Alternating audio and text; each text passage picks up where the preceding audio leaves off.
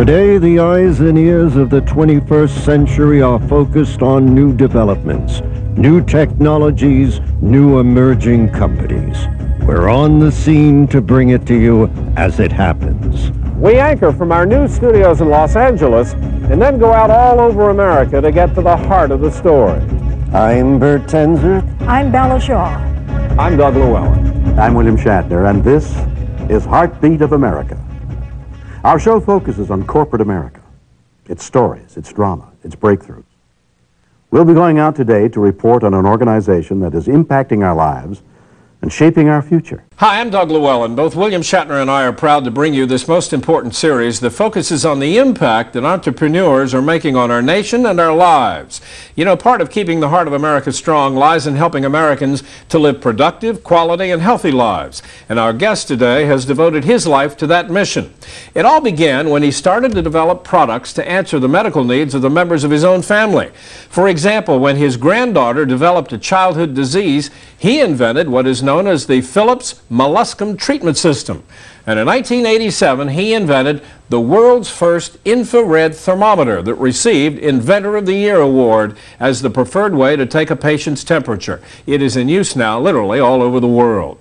And then when his father had trouble with his legs, he invented what he called the rebuilder to stop the pain and numbness, and then he made it available to everyone. It's a truly amazing story about an amazing gentleman, and we're about to find out just how he does all of this. He is the founder and the president of a company that is known as the Rebuilder Medical Technologies Corporation. It's headquartered in Charles Town, West Virginia, and as a side note, the company just recently went public. His name is Dr. David Phillips. Doctor, welcome. Nice to have you here. Well, thank you. I appreciate being here. I mean, I'm impressed by these things you've done. You've, you've had some remarkable success. Necessity is the mother of invention. No kidding. And I, I, would imagine every parent out there, at least right now in this day and age, is certainly familiar with the thermometer that you created because that really is the way they take temperatures almost everywhere now. Hospitals, doctors' offices, and in homes. You should be very proud. Well, thank you. Let me ask you a little bit about some of the kinds of problems that uh, that intrigue you enough and that people come to you and talk to you about to get your, you know, your, your appetite interested to create a, a solution for it? What are the, what are the, the big problems? Well, initially what comes to my attention is when a, somebody in my family has an issue. So once I solve that, then I sometimes I look at other people. I say, is this prevalent in, in the population? And for instance, now with the aging of America, the baby boomers getting older, as I mentioned, I'm the first of the baby boomers born in 1946.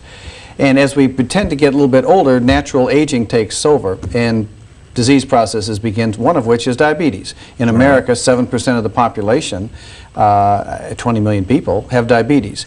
About half of those patients are eventually going to have problems with circulation and tingling and numbness and pain in their feet and their legs. Also, it treating other diseases like cancer as we get older, one of the side effects of chemotherapy is neuropathy. So I said, okay, maybe I can develop something that is affordable and make it easy for people to get and easy for people to use. Now, when you mention neuropathy, a lot of people, including yours truly, may not totally understand what neuropathy is. What is it? Neuropathy means uh, nerve problem.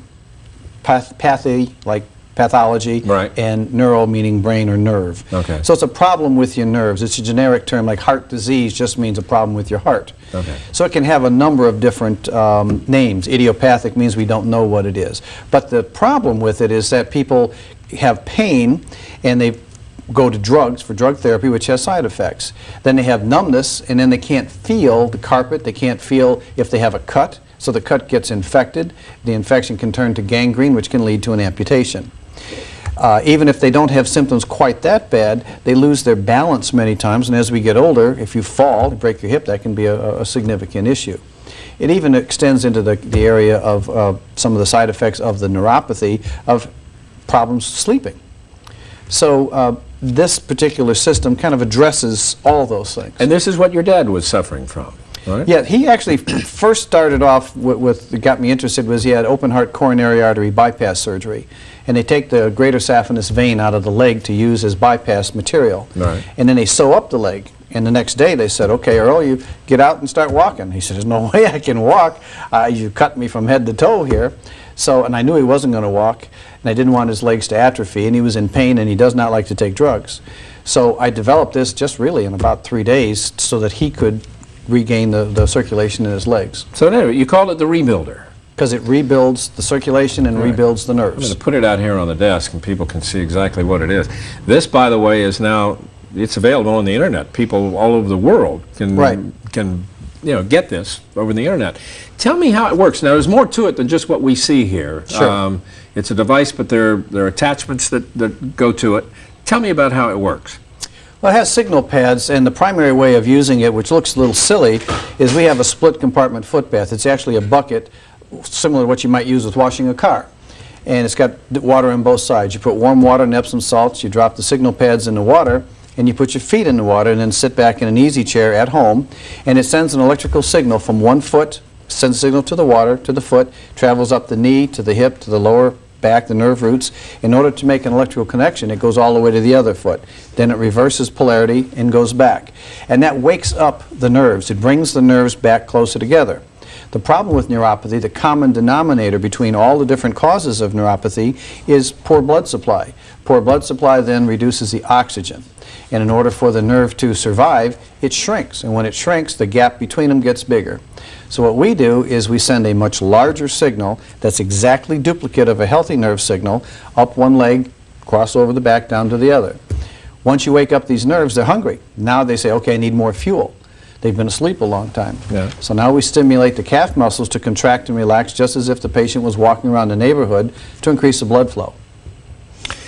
Now, you attach these, the, the little tags, what do you, what do you call them? The To signal your- pads, Signal pads, all right, signal pad. You attach them to your, to your body at various points. You put them on your feet. You actually put them in water and then put your feet in water. What, The simplest way is to um, drop the signal pads into the buckets of water, Yeah. put your feet in there. The warm water vasodilates or opens up the blood vessels in the skin. That allows more blood flow. Then the calf muscles contracting pumps the blood back up to the heart, infusing the newly awakened nerves, while the signal wakes up the nerves. The uh, signal itself also causes the brain to release endorphins, which are internal opiates, internal pain relievers. These pain relievers travel throughout the bloodstream and make a patient very calm, relaxed, and actually makes them sleep, so they sleep through the night. You can also attach the pads directly onto the skin on the bottom of the feet and mm-hmm. elevate your feet, and then gravity helps pull the blood. If you have sore fingers or a sore back, then you can put it on those areas also. and how long does the treatment last that you, you, you 30 use minutes. this? 30 About- minutes. About 30 minutes as an automatic shut-off. And then roughly how long, how many treatments do you have to go through before you begin feeling some relief? Patient feels relief with the very first treatment. Really? While your feet are in the buckets, you feel nothing, no pain, no numbness. You actually feel the warmth. So they have a 30-minute window of feeling normal. You Then don't feel a tingling? You feel it. You feel it tingle uh, on and off, but you Right. feel that. But you, the pain is gone. As soon as you shut it off, then the pain begins to return, and it usually lasts for two to four hours. Now, every time you use it, the results get better, and they accumulate to where eventually a person can go from twice a day to once a day to twice a week to once a week on a maintenance program. How's your dad doing now? Well, he's 83, and he works every single day in our office, full time. So he's doing marvelous. Oh yeah, and he works in the assembly department. He walks around supervising people. All right, he no came. problem, to, he, no he- drugs. you realized he needed he needed help. How did you come up with the idea for this? well, it's just my nature that I can't seem to leave things alone, and I had invented other things. Uh, 1975, my wife developed a lump in her breast, and I didn't like the way the medical people at that time went about diagnosing it and determining what to do about it. So I invented a system called GST system using infrared heat sensing, and uh, we took that company in public in 1980. But I had to go into libraries and learn everything I could about breast cancer. And I realized that tissues growing faster would give off more heat. Then I went to the engineering libraries and studied everything I could learn about uh, the engineering process of electronics, and I put it together. Yeah, It's interesting. You're a PhD, not a medical doctor. So- Right. So you go into deep research when you decide to work on something like this. Absolutely, and then we try it. And since it's designed for a patient, I'm not just saying, hey, there's a market, let's see if we can meet it. No, yeah. I say, I've got to make something that works. I don't care how much it costs. Right. It has to work. And then every so often I find something where people say, well, I'd like to have that too. So then the next challenge is how do I simplify it make it reasonable in price, and then how do we simplify this so people can use it? You notice that device has large knobs. In today's electronics, I could have watches have these little bitty buttons. I don't know about your Sure. VCR, but mine still blinks 12. Right. So these are big enough so older people with arthritic knob, arthritic hands can adjust it. Yeah, it's easy for them to, yeah. Uh, It's operated by a 9-volt battery, so Right. it's perfectly safe. Uh, It just, uh, so then I try to create it so that it will solve the problem for everybody. Then the pricing is an issue, because if you go through normal distributors, uh, the- a a price, a device that I can sell like this for $400, or I have to sell for $2,800 by the time it goes through three levels of distributors, because they each double the price. So we sell it to patients directly on the web. Let me ask you about the, the, the medical community itself. Do they recognize this? Is this something that has to have FDA approval in order for you to sell we- it? we went through that process. It's FDA approved. Yeah. It's currently available in about 172 doctors' offices and hospitals around the, around the country. Really? So doctors recognize the benefits of it? Yes, but it- it's not wildly and widely known yet. Yeah. Uh, We've kind of laid low for the last four or five years, trying to get everything in order, to get production up, develop clinicals, and when we're just about ready to release some clinical trials. Like you mentioned, we recently I was just going went to say, is that why you just took the company public? Yes, we're now at the stage where we can now afford to expand our production facilities, and, and we're going to do some late-night commercials and things of that nature, and make it more available, all our products. So what do you see for the pot- potential of this, of this little device, the Rebuilder? Well, I see that uh, since it's so nice and small, we find that when it's in a person's home, they usually have to go looking for it because other people in the house find that, that it's helpful for them. We have one college in uh, Texas that uses it for the football players. They use it for the patient, for the players to warm up before they go on the field, and they find they have less injuries because It contracts your muscles? Mhm, and Right. gives increased blood flow. Right. And then since they're always having minor aches and pains and injuries and swellings, they can use it to take that down. Uh, It wasn't designed for that, but they're finding uses for that, for that purpose. We're exploring the fascinating story of the Rebuilder Medical Technologies Corporation of Charles Town, West Virginia, with Dr. David Phillips, who's the founder and CEO of the company, uh, which we mentioned a little while ago, just recently went public.